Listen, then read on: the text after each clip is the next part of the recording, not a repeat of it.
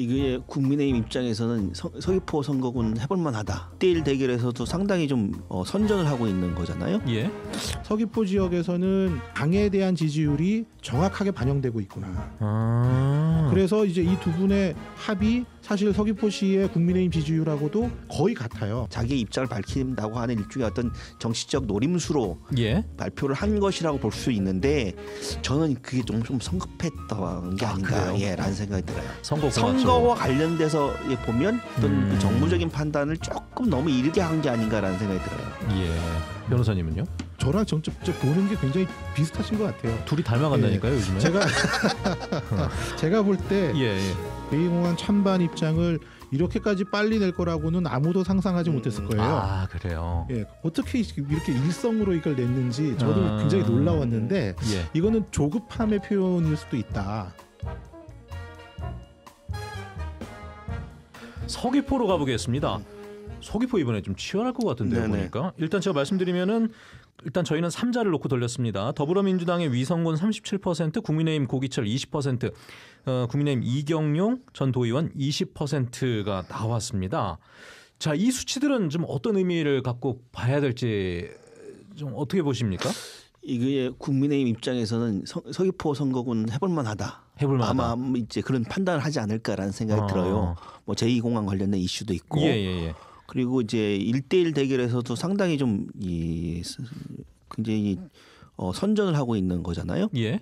그러면 지금 뭐 이경용 예비 후보는 뭐 도의원을 하면서 여러 가지 인지도가 지역 내에서 있다라고 하는데 고기철 예비 후보 같은 경우는 인지도 면에서는 뭐 도의원도 한 적이 없고 뭐 경찰청장은 하긴 했지만 중앙당 영입 예, 케이스이기도 중앙 영역 하고. 케이스인데 하나 그러니까 그 얘기는 뭐이 일찌감치 준비를 하고 예. 지역의 밑바닥을 굉장히 단단하게 다, 다졌다라는 게 이, 이번 여론조사에 보이는 거예요. 이경용 후보요? 아니 저기 고기철 후보. 아, 고기철 후보. 예. 아. 예, 그렇기 때문에 쉽지 않은 싸움이 될 것이다. 예. 그러니까 지금 현역 의원인 위성곤 예비 후보도 예. 굉장히 좀 긴장하지 않을까라는 생각이 들어요. 아, 근데 이게 물론 이제 단순하게 더하면 안 되는데 네.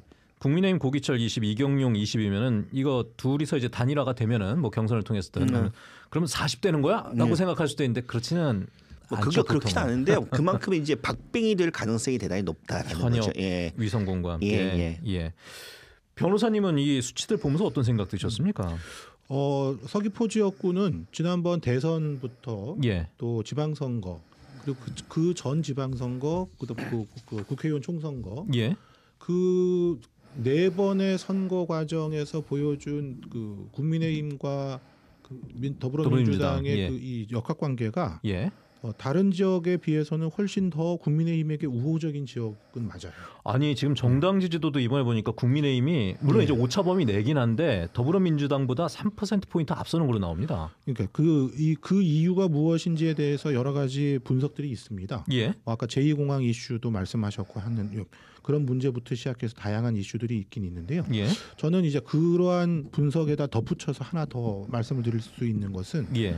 그 제주도의 인구가 지난 10년 동안 20만 명 정도가 증가했는데 예. 예. 그 20만 명 정도가 증가하는 과정에 신생아가 그렇게 태어나지 않은 거는 누구나 다 알고 있죠. 유입 인구가 많다는 그렇죠. 이야기. 유입 인구가 많으신데 그 유입 인구 중에 비교적 젊은 층들은 어, 제주시 지역 예. 쪽에 이제 그 분포가 더 많고 음. 어, 비교적 그- 그보다는 이제 은퇴하신 이후에 내려오신 분들이 서귀포 지역에 분포하는 분 비율이 아, 조금 더 높습니다. 예, 예, 예. 그게 이제 유의미한 차이 정도를 보이는 것이고 예. 현격하게 차이가 났다 이렇게까지 얘기할 수는 없다고 저도 음, 생각해요. 예. 그러한 측면들이 그러면 그 정당 지지율적인 측면에서 예. 아까 말씀드렸던 여러 요인에 이러한 요인도 이제 덧붙여지는 것이죠. 음. 어, 제주 지역에서 이제 그 호남 출신의 제주에 계신 분들에 대한 분석들을 많이 하시지만 예. 사실 그것은 어 제가 볼 때는 지난 10년간의 변화에서는 상수였고 음, 예, 예. 변수가 아니었습니다. 아. 그러니까 그게 없다라고 말을 할 건 아니지만은 예. 그게 중요한 요소는 아니었다는 것입니다. 음. 상수였기 때문에. 예. 그러면 서귀포 지역에서 아까 그 이번 해볼만하다라는 측면에서는 저는 어, 뭐 어디에서 그거를 봤냐 하면 예. 고기철 후보 그 예비 후보와 이경용 예비 후보가 각각 20% 정도의 지지율을 획득을 했어요. 예. 이거는 예비 후보 그러니까 국회의원 총선거에 아직 한 번도 나와보지 않은 정치 예. 신인이라고 하는 측면에서 볼 때는 아주 높은 음, 음. 비율입니다. 아. 예, 그럼 이렇게 높은 비율이 나왔다는 것은 예. 서귀포 지역에서는 어, 이분들에 대한 인지도보다도 예. 당에 대한 지지율이 정확하게 반영되고 있구나. 아. 그래서 이제 이 두 분의 합이 사실 서귀포시의 국민의힘 지지율하고도 거의 같아요. 예, 예. 그러니까 이, 이 무슨 뜻이냐면 인지도를 높일 수 있는 환경이 조성되어 있고 어. 또 인물론에서도 뒤지지 않고 예, 예. 네. 거기에다가 그 현역 의원이신 어. 더불어민주당의 위성권 의원에 대한 평가가 예. 다른 지역보다 더 좋은 지역이 아니라는 거. 예. 뭐더 나쁘다고 표현은 안 했습니다 제가. 음. 더 좋은 지역은 아니라는 거. 예. 네, 그런 점들이 복합적으로 작용을 하면 예. 어, 후보 구도가 결정이 된 이후, 뭐 사실상 민주당은 후보 구도가 결정이 됐으니까 예. 국민의힘 쪽에서 후보 구도가 결정이 된 이후에는 굉장히 굉장히 음. 재미있게 예. 선거가 진행되고 재미있다는 것은 이길 가능성이 국민의힘 쪽에서 높다. 음. 저의 개인적인 바람이 들어 있는 예. 겁니다. 아니, 그렇게 서귀포 진행될 것 같습니다. 서귀포가 굉장히 오랜 시간 지금 더불어민주당이 계속 그 의석을 가져갔었잖아요. 그렇죠. 네. 근데 이번만큼은 좀 그 양상이 다른 선거가 될 것 같다는 말씀이신데 두 분 다 그래서 그래서 서귀포는 예. 개표를 끝까지 봐야 되는 그런 끝까지. 선거가, 예, 선거가 될 가능성이 좀 높지 않나라는 생각이 들어요. 예. 예, 특히 아까 했지만 이경영 예비후보는 도의원을 했단 말이에요. 네. 그러니까 상당히 어떤 정치적인 역량이나 이런 부분들을 이제 다져오신 분이잖아요. 그래서 20% 지지율 상당히 큰 거죠. 예. 근데 고기철 예비 후보는 정치 신인이라고요. 예. 경찰청 그러니까 경찰에서 오랫동안 예. 근무하신 분인데 정치는 처음이란 말이에요. 음. 그런데 20%가 나왔다? 이거는 그 굉장히 준비를 열심히 하고 많이 했다라는 예. 걸 보여주는 거죠. 아니 저희 시사 전망대 시간에 지금 한 1년 이상 얘기하면서 종종 이 고기철이라는 이름이 나왔습니다. 음, 음. 어 이분 수치가 왜 이렇게 높게 나오지? 준비 잘하고 있는 것 같은데라고 두 분이 지금 여러 차례 말씀하셨었잖아요. 그래서 그렇게 되면 아까지만 여기에 뭐 국민의힘 지지율이 높은 게 반영돼 있는 예. 부분이 있지만 그 따지고 보면 그렇게 보면 국민의힘 코어 지지층에서는 두 후보 모두 가능성이 있다고 판단한다는 아, 거예요. 예. 그럼 여기는 뭉칠 가능성이 있다는 예, 말씀이신 그- 거죠? 그러면 쉽지 않은 싸움이 될 가능성이 좀 높아 보여요. 예. 예. 국민의힘 얘기 나왔으니까 여기 먼저 집중적으로 얘기하고 좀 위성군 후보 쪽으로 네. 넘어가겠습니다.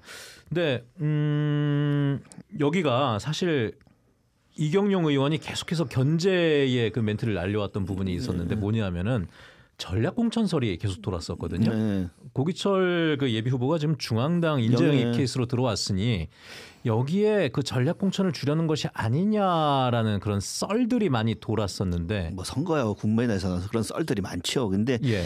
그렇게 되기는 쉽지 않고 만약에 그렇게 가게 되면 예. 이경영 예비 후보 측에서는 굉장히 크게 반발하죠. 그러면 선거 구도 자체가 흔들려 버려요. 아. 예를 들면 제가 만약에 국민의힘 지도부라면 그런 예. 판단할까? 저는 그런 판단하지 않을 거라고 생각합니다. 어 그래요. 그럼요. 예, 저도 그, 그 의견에 저쪽 동감인데 예. 우선 고기철 예비 후보께서 영입 케이스라고 하지만 사실은 국민의힘의 입당을 전제로 계속 활동하시다가 8월에 이제 어, 8월이었나요? 9월이었나요? 하여튼 그때 이제 예. 에, 지금 인재영입 위원장 공동 위원장을 맡고 있는 이철규 의원하고 예. 같이 이제 중앙당에서 손들고 그랬었는데 예, 거기 그, 런 측면에서 본다면 예. 이경영 예 비 후보는 사실 그 어, 제주도에서 잘 안 알려져 있지만 예. 이경영 예비 후보의 뒷배도 만만치 않습니다. 뒷배요. 예, 제가 볼땐 미래 권력이에요. 예. 아 예, 그래요? 그럼요. 어. 그래, 그래서 이경영 예비 후보의 뒷배가 미래 권력으로 그 손꼽히는 사람이기 때문에 예. 그런 측면에서 뭐 전략 공천 운운하는 것은 예. 어, 중앙당의 정치 지세 지형을 잘 모르시는 분들이 그냥 하시는 아. 그래요? 예. 그러면 여기 사실 수치가 나오는 것만 봐도 이거는 뭐 생각이 있더라도 함부로 그 전략 공천하기는 어려운 거잖아요. 어렵죠. 예. 어렵죠. 그러면 제 예상에는 지금 사실 값도 비슷할 거라고 음. 보는데 값 민주당도 비슷할 거라고 보는데 수치가 이렇게 거의 동률로 나오면은 경선이 정말 치열할 거란 말이죠. 예. 우리가 제주도 선거에서 여러 차례 봐온 사례들이 음. 있는데 이 한쪽으로 정해지고 나면 다른 한쪽이 잘 안 도와주는 경우들이 있었거든요. 그러니까 원팀을 잘 이루느냐가 가장 큰 숙제가 되는 거 아닙니까? 양쪽 모두. 물론 그런데 예. 지금 그렇게 좀 지금 제주시 갑은 잘 모르겠는데요. 예. 서귀포 선거 같은 경우는 이경영 예비후보든 고기철 예비후보든 어느 한쪽이 정해졌다고 예. 어, 상대방을 비토할 만한 그런 그건 아닌 것 그런 건 같습니까? 정서는 아닌 것 아. 같아요. 아닌 것 같고 어 그, 그래서 경선이 치열하더라도 예. 그러니까 오히려 이 서귀포 선거구는 국민의힘 경선이 치열하면 치열할수록 뭐가 되냐면 일종의 컨벤션 효과가 있는 거죠. 아, 예. 예, 예, 그래서 오히려 치열할수록 국민의힘 쪽에서는 해볼 만하다라는 판단이 생길 것이고 특히 코어 지지층에서는 이제 집결하죠. 예. 그- 그렇게 되면 이제 더불어민주당 위성군 예비 후보도 상당히 좀 준비를 많이 해야 될 거예요. 음.